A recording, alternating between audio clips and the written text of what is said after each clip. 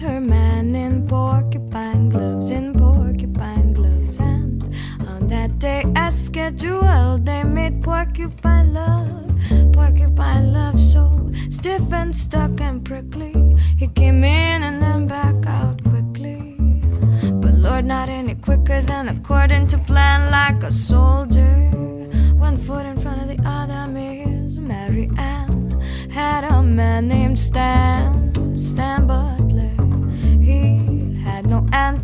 Had no center, he had no enter, and he had no exit. His hair was short and prickly.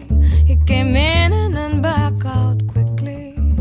But Lord, not any quicker than according to plan, like a soldier. One foot in front of the other, and how he loved her apple pies, how he loved her meatloaf, how he loved her chicken breast, how he loved her pudding. Served promptly at eight o'clock, served promptly at seven, serve promptly at ten o'clock, and promptly at eleven. Heaven, Miss Mary Ann kept her cans in alphabetical order. Miss Mary Ann began to have some thoughts of murder. Miss Mary Ann began to think real hard about her future. Mary Ann preferred her meat to be freshly butchered. Oh, she killed him rather quickly. Man, that woman was truly sickly.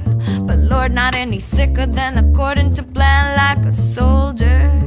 One foot in front of the other, and how he loved her apple pies, how he loved her meatloaf, how he loved her chicken breast, how he loved her pudding. Served promptly at eight o'clock, serve promptly at seven, serve promptly at ten o'clock, and promptly at eleven. Heaven,